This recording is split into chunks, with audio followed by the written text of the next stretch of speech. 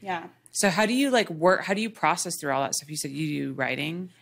So I do a lot of writing. Um, like for instance, if I have a negative thought, like even just like if I'm like watching the news and I'm like, oh, global warming, it's, we're doomed, you know? Yeah, dude, I can't watch I start anymore. writing it down. Like I'm like, we're doomed. Why do I think we're doomed? Because this isn't this. Mm-hmm. And then I look at it and I'm like, okay, so these are all things that are being like fed to me. Mm-hmm. These are all I'm writing down doomed things from what exactly I've heard. Mm-hmm. Now that I know that it's out of my head, my brain can stop feeding it to me. Let me go online and educate myself on on scientific websites about all the good things that are happening and surround myself with just positive news. Wait, are you telling me that you're doing research? I and do you're not just reading the headlines? Yes, yes, yes. That's yes. crazy. Nobody does that. right right i actually like uh, i have my own discord and i purposely put positive just like scientific advances um, positive acts that people are doing because i'm like it, We need more of that. yeah it, and it's not even like it's not even like we don't have it. The thing is is being positive and happiness is easy. You expect it when you're a human right? So mm-hmm. you just live and you assume that things are going to be good. You assume that you're you're happy. So that's why you don't see it or have that like relief of it because negativity is something you don't expect. So when it comes into your way you see it and you take it in.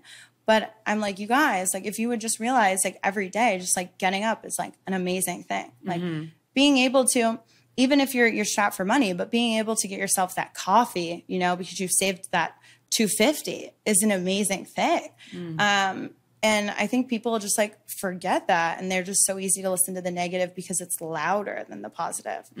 But like you know, with everything going on in the world, where we've got the most um, green innovations uh, ever, with the most legisla- legislation working against us. So we've done the most advances, and it's actually more profitable to be green than it is to use all these other things. Um, you know, we have the most science, uh, most science uh, advances in medicine right now. And when it comes to like feeding the homeless and all that stuff, we have the most activists working ever in America.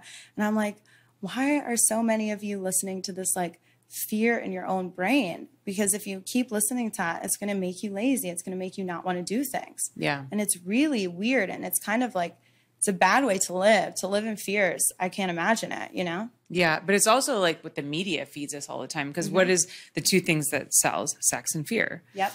And fear is like that's what's being fed to you 24 hours through the news channel. Like my dad, um, you know, he's got Parkinson's and he's 82. And so he does a lot of like just sitting and watching fucking CNN on repeat. Um, and it's just like con- all this constant negative because people don't like they don't want to hear the stories about like oh all of the good things that are happening in life. It's the fear that sells because people get like focused on that and they need to learn more about that. And then like and i just feel like we're all like in this active state of anxiety all the time. Yeah, totally. I think there, like, I wish there was a news outlet that was just like a positive one because uh, I think it's the same with porn. So, like, everyone wants brother and stepsister stuff, right? Yeah. So we create brother and stepsister stuff, and then more people want brother and stepsister stuff. Like, you watch news and it gives you bad stuff, and then you want to watch more bad stuff. I think the market kind of creates um, the viewers and then it's like a vicious circle where the viewers start start doing it as well. But i think if somebody were to step in a news outlet or something was to step in and create something different you would see sure it might be a slow roll but you would see people would start changing to that type of way. Because after all the politics that just happened what is cnn and all these websites now doing? They're talking about global warming in the worst way right? So now they're making people afraid to try to to be better. They're making people, oh shit, well the planet's already doomed, right? If I talk about any global warming, well we're already doomed. There's nothing we can do to fix it. No, that's not true. We've actually lowered it this year. We've lowered it by one degree, right? If we can get one more uh, degree lower for next year, we're we're way ahead of the track that we've set for ourselves. So I'm like, you're just allowing like they're basically they're basically fear mongering you from from being better and, and doing better because then you're kind of stuck on this this wheel, you know? And I don't want to say like consumption wheel because people start being like, oh, you're crazy and woke. But it really is. You're stuck on this same consumption wheel and fear mongering situation. Yeah, no, it's so true. I mean, where where our society is so much about consumption and I'm totally guilty of it too. Yeah. Like I'm I'm bad about that and I've been trying to to be better. It's funny because I saw this um article uh, that somebody posted on Instagram about how like 90% of the plankton has disappeared in the Atlantic Ocean, like it's gone. And I like went to a full blown panic attack. I mean, I've been seeing global, you know, global warming news everywhere, but I don't know, it was that specifically. And I spent like two days like totally freaked out. Yeah. But you know what I did? I started, uh, this is like a small change, but I feel like it's a good one. I found this company that does these laundry sheets that's Mm-hmm. like detergent and it's just like little sheets like this called like eco something.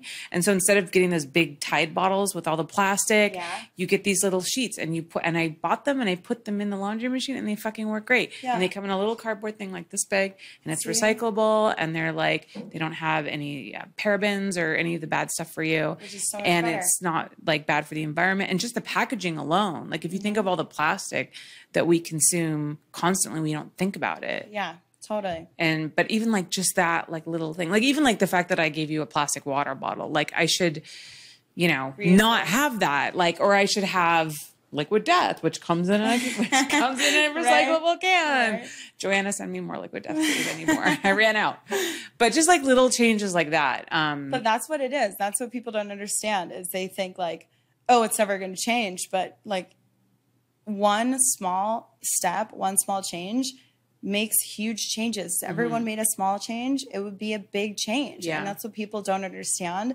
They rather like give up instead of just like attempt to do something, you know? Yeah, I think either we fully discredit the whole global warming thing, which we mm-hmm. know that some people do. They're like, it doesn't exist, it's a mm-hmm. hoax, or yeah, it does. It feels so hopeless. Like, well, fuck it. Yeah. Like, I can't even imagine to like begin to try to do something about it because it just looks like nothing we do is going to change anything. Yeah. That's Which so is like true. they're not listening to science. No, like those are the people that are not listening to science. but science doesn't sell. Yeah. fear sells. so true. So weird. I love how we went from what you're quitting porn to like plastic use. I don't know how we went down that fucking tangent. I love it. I love it. I actually, I, I often talk about, I often talk about that, and I kind of talk about politics a lot too. Mm-hmm. Um, so it's really ironic because I get a lot of uh, death threats now. I get a lot of craziness because of it. So since I've started to be more vocal, like the stuff I get is like so Oh, people wild. get so angry. I Yeah, know it's really like so wild. I'm like, you we're guys so are polarized. crazy. It's, it's it's yeah. Oh my god. Um. So We how? just need to be science scientists. That's all. I know. We all just Well, maybe you like need to start a science channel. That's true. Maybe you should just do like Adriana's science news. I just like- bought a giant volcano to build in my backyard to try and like show everyone about just elementary science. I can believe it. Like I, I, I love it. I was like, I'm going to the teacher supply store and we're going to do like elementary science for each year just to like try and like learn some funny stuff. That's So so, I do great. some pretty funny things. That's really